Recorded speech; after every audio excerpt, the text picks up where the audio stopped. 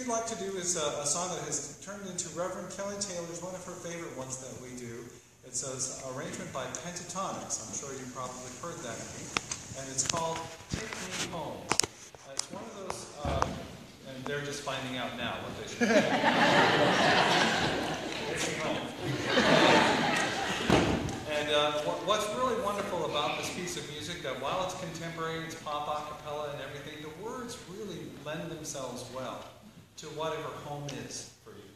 If the home is coming home for home to the church, then that's what this song means.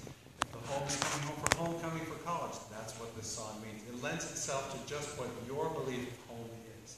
So let us take you home.